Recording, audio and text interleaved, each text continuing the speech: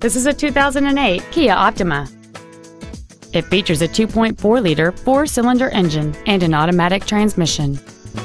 Its top features include heated side view mirrors, a rear window defroster, a CD player, a multi-link rear suspension, a passenger side vanity mirror, a low tire pressure indicator, rear impact crumple zones, halogen headlights, side impact airbags, and this vehicle has fewer than 27,000 miles on the odometer. This Kia has had only one owner, and it qualifies for the Carfax buyback guarantee. This vehicle won't last long at this price. Call and arrange a test drive now.